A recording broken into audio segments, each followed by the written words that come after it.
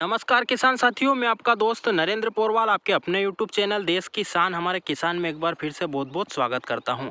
किसान साथियों, प्याज से संबंधित रोपाई से लेकर अंत तक की सभी जानकारियाँ चैनल पर डाल दी हैं, पर आज का जो विषय है, वह है कि निंदाई करने के बाद में या साठ दिन से लेकर नब्बे दिन के बीच में प्याज की फ़सल में कौन कौन से खाद उर्वरक हमें डालने चाहिए तो उसकी आज की वीडियो में पूरी बात करने वाले हैं। जिसमें कि बेसल डोज के अलावा भी पोषक तत्वों की आवश्यकता प्याज को पड़ती है तो प्याज की फ़सल में कौन से खाद उर्वरक डालने चाहिए जिससे कि प्याज का कंद मोटा बने, तना अच्छा मज़बूत बने और हमारी क्वालिटी और उत्पादन अच्छा आए? तो उसकी बात करेंगे तो आप पूरी जानकारी के लिए वीडियो को पूरा अंत तक ज़रूर देखें जिससे आपको पूरी जानकारी मिले। जानकारी पसंद आए तो आप लाइक ज़रूर करें और ज़्यादा से ज़्यादा किसान भाइयों तक व्हाट्सअप फेसबुक और अन्य सोशल मीडिया प्लेटफॉर्म्स पर शेयर भी ज़रूर करें। और चैनल पर ऐसी ही जानकारी जल्दी से जल्दी प्राप्त करने के लिए चैनल को लाल बटन दबाकर सब्सक्राइब करें और पास में लगा घंटी का बटन भी दबा दें, जिससे हम जो भी वीडियो डालेंगे वो आप तक बिना देरी के जल्दी से जल्दी पहुँच जाएँगे। और चैनल पर ज्वाइन बटन भी आ गया है, जिस पर व्हाट्सअप चैट आप हमसे कर सकते हो और हमारी टीम से बात भी कर सकते हो कि कौन सी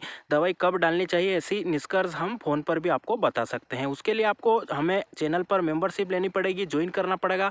आप मेंबरशिप का बटन दबाकर पर्क जाकर देखें और आपके अनुसार आप कोई सी भी मेंबरशिप ले सकते हैं। एक बार मेंबरशिप के ऑप्शन में जाकर ज़रूर देखें। तो आइए जानकारी शुरू करते हैं।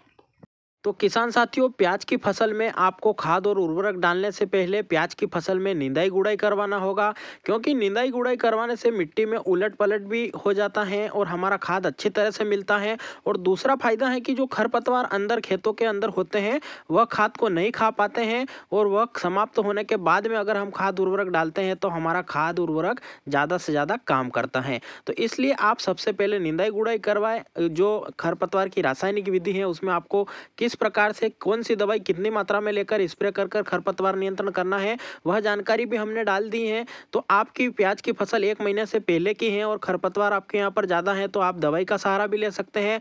परंतु आपकी फ़सल जैसे ही चालीस से पचास दिन क्रॉस करती है, उसके बाद में आपको कोई भी खरपतवार नाशक का स्प्रे नहीं करता, करना है। क्योंकि वह कंद बनने का समय स्टार्ट हो जाता है और वहाँ पर हमारी फ़सल को वह दवाई नुकसान पहुँचा सकती है। तो आपको खरपतवार नियंत्रित करने के लिए पचास से साठ दिन बाद में जो है निंदाई गुड़ाई का ही सहारा लेना है, क्योंकि किसान भाइयों के बहुत सारे कमेंट आते हैं कि हम जो है खरपतवार दवाई का स्प्रे कब तक कर सकते हैं, कितने दिनों की फ़सल में कर सकते हैं तो उनको भी यही जवाब है कि आप एक महीने से पहले पहले की फ़सल में खरपतवार नियंत्रण दवाई के द्वारा कर सकते हो, उसके बाद अगर खरपतवार होता है तो आप निंदाई गुड़ाई का ही सहारा ले सकते हो। तो निंदाई गुड़ाई करवाने के बाद आपको कौन सा खाद डालना है, उसकी अगर बात करें तो किसान साथियों हमने जो रोपाई के समय खाद बताए थे, उनमें आपने आपने जो जो खाद आपका छूट गया है, वह तो लेना ही है आपको। तो वह वीडियो भी आप जाकर देख सकते हो कि रोपाई के समय हमने कौन कौन से खाद बताए थे। तो वह खाद अगर आपने प्रॉपर रूप से डाल दिए हैं तो अभी आपको ज़्यादा कोई खाद लेने की आवश्यकता नहीं है। दो से तीन खाद ही आपको लेकर इस्तेमाल करना है। वह दो से तीन खादी आपके यहाँ पर इतना सारा काम कर देंगे कि आपका प्याज का कंद बहुत ही तगड़ा और मोटा हो जाएगा। तो आ, आप वह वीडियो जाकर देखें जो बेसल डोज का हमने बताया था आपने कौन कौन सा खाद ले लिया है। अगर आपने जो बताए गए हमारे द्वारा बताए गए सभी खाद ले लिए हैं तो अभी आपको जो है जो बारह बत्तीस सोलह एन के होता है वह ले लेना है। आपके यहाँ पर एन पी के बारह बत्तीस सोलह नहीं मिल रहा है तो आप डीएपी प्लस पोटास भी ले सकते हो। अब एन की कितनी मात्रा लेनी है अगर उसकी बात करें तो आपको 40 से 50 किलो प्रति बीघा के हिसाब से एनपीके की मात्रा अभी लेनी है और डीएपी अगर आप ले रहे हो तो आप उसकी भी मात्रा 30 किलो ले सकते हो और 20 किलो उसमें आपको पोटास मिलाकर 50 किलो क्वांटिटी आपको प्रति बीघा के हिसाब से कर देनी है। तो एनपीके ले लेना है, एनपीके नहीं मिल रहा है तो डीएपी प्लस पोटास ले लेना है। उसके बाद में आपके यहाँ पर अगर कीड़ों की समस्या है तो उसमें आप जो फिफ्रोनिल ज़ीरो प्रतिशत या ज़ीरो प्रतिशत आता है, उन दोनों में से कोई सा भी ले सकते हो। या क्रिस्टल कंपनी का एक वोल्टाक्स आता है, जिसमें फिफ्रोनिल प्लस थायोमेथाक्साम आता है, वह ले सकते हो। या फिर जो एक क्लोरपायरिफोस नाम से एक दवाई आती है, इन तीनों चीज़ों में से आपके यहाँ पर जो अवेलेबल हो, वह एक चीज़ आपको लेकर मिलानी है। जो आप लाल लाल पाउडर देख रहे हो, ये फिफ्रोनिल है, और जो एनपी के बारह बत्तीस सोलह मैंने बताया, वो पीली थैली में आप देख सकते हो। तो ये दो चीज़ें हो गई।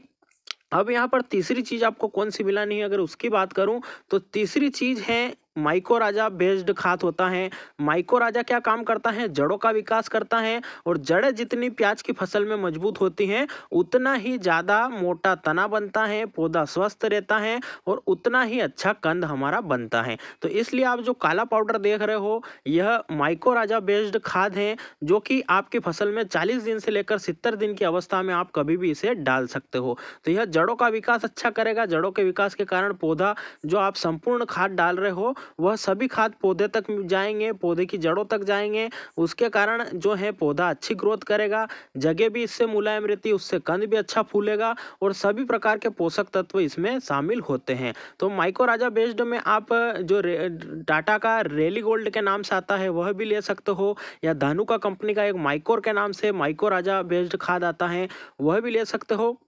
उसकी अगर मात्रा की बात करें तो दो किलो प्रति बीघा और चार किलो प्रति एकड़ के हिसाब से आप जो माइको राजा बेस्ड खाद होते हैं, वह ले सकते हो। इसके साथ में आपको कोई भी फंगीसाइड नहीं मिलाना है, क्योंकि माइको राजा एक फंगस होती है और सल्फ़र या फंगीसाइड अगर हम कुछ मिलाते हैं तो उससे वह बैक्टीरिया मर जाते हैं। तो अगर माइको राजा बेस्ड आप खाद मिला रहे हो, जो काला रंग का मैंने बताया है तो उसके साथ आपको सल्फ़र या फंगीसाइड कोई सा भी नहीं मिलाना है। और फिप्रोनिल की बात करें तो यह भी आपको तीन से चार किलो प्रति बीघा ले लेना है और उसकी मात्रा लेकर आपको इन्हीं खादों में मिला देनी है। तो ये तीन चीज़ें आप प्रॉपर रूप से डाल दोगे अभी निंदाई के बाद में तो आपके यहाँ पर डीएपी की वजह से जड़ों का विकास अच्छा होगा, तना मोटा होगा, कंद अच्छा बनेगा और पोटास की मात्रा इसमें बारह बत्तीस सोलह में है तो उससे जो कंद बन रहा है वह चमकदार, वजनदार और ठोस बनेगा और उसका पर्दा मज़बूत बनेगा।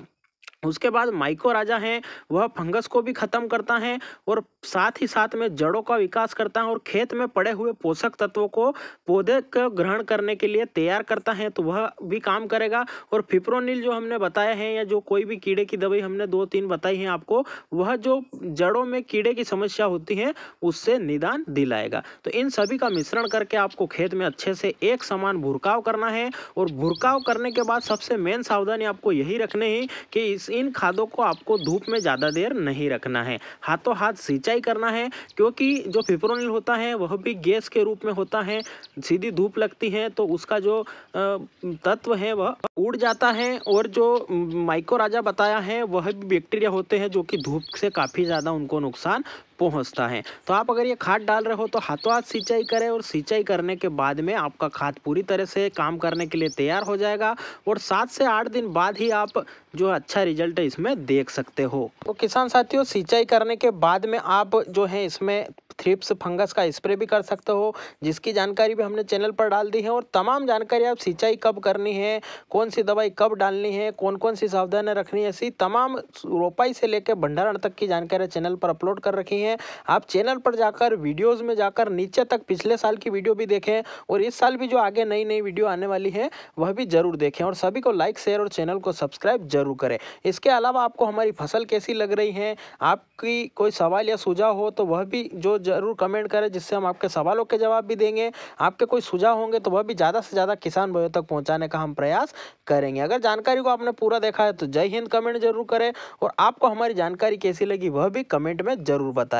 बाकी चैनल पर सभी जानकारियों के वीडियो डाल रखे हैं। मंडी भाव से लेकर फ़सलों की सभी गेहूँ, चना, अलसी, सरसों, मटर और प्याज, लहसुन की खेती, प्याज, लहसुन के भंडारण तक की सभी जानकारी डाल रखी है। आप चैनल पर जाकर ज़रूर देखें, लाइक, शेयर और सब्सक्राइब ज़रूर करें। फिर मिलते हैं नई जानकारी के साथ नए वीडियो में। तब तक के लिए जय हिंद, जय भारत, वंदे मातरम।